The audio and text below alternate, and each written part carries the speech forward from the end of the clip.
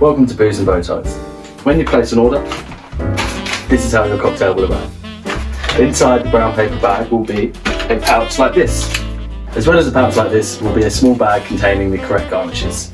There are two methods to preparing each cocktail. The first method, which applies to the porn star martini and the espresso martini, is to shake the cocktail.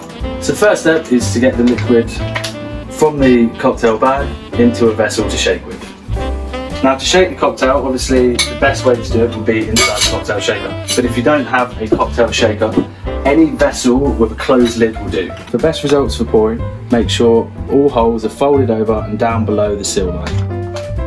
Grab the vessel which you're going to shake in. For this I'm using a simple jam and slowly pour in. Now all of the cocktails are pre-diluted for ease, so there's no need to add ice as long as the drink is chilled get into the jam jar, make sure you hold the top of the lid always, and just shake.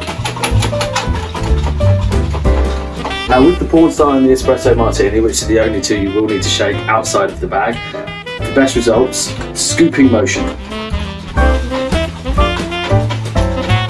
And then, undo the lid, grab your glass. Personally, I recommend a stemmed, any kind of stemmed glass, whether it's a cocktail glass or a wine glass, and pour it.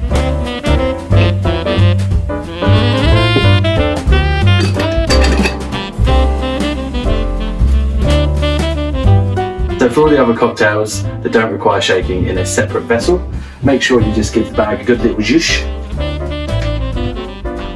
fold the bag over like this. Very important, please make sure all circles are below the seal line. Grab your glass of choice, fill it with ice and pour over very slowly to avoid any spillages.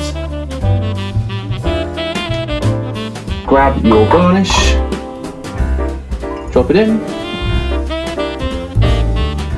and enjoy.